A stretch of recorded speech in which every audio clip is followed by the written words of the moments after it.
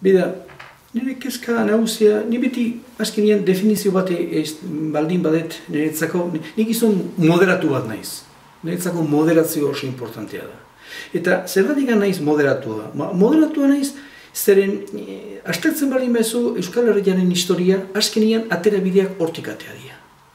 Ur, nahiko burruka izango ditugu, izan ditugu, oindala bi mende, izan ditugu situazioak nahiko estremoak alde batetik eta bestetik, eta azkenian horateatian atera bide bakarrak izan dira babiskat erditik egin dako zenbait gauza. Eta ni hortan sinisten, nik hortan sinisten dut, eta niretzako hori importantea da.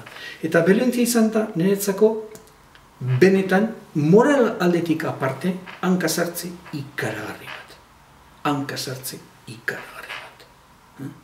Eta e, ikusten zunean gauzak dijo astela gero eta gehiago eta gero eta importanteagoak eta zenbait eta sentido hortan naiz eta itzai, naiz eta planteatu ez daula bat ere kasoik egiten arrotasun ikaragarri batekin zendik hemen izan da arrotasun ikaragarria eh?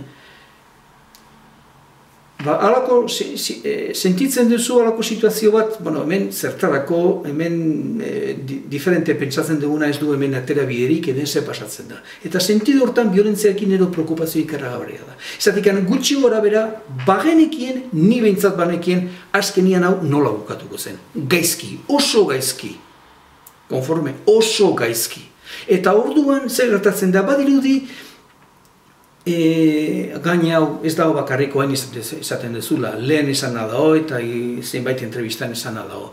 Orduan, bai, oain presoak nun dauden, kartzeletan, ze pasadan, zenba jende hildan eta zertarako. Zertarako. Eta oain dara hogeita bostuzten, hau jakina zen. Zenbaitek ez dute bat ere kasoik egin. Orduan, esaten nero preokupazio bazan, bai, bazan, eta bada, baino da pixkat jakina ze, e, sorpresai gabe sentidortan.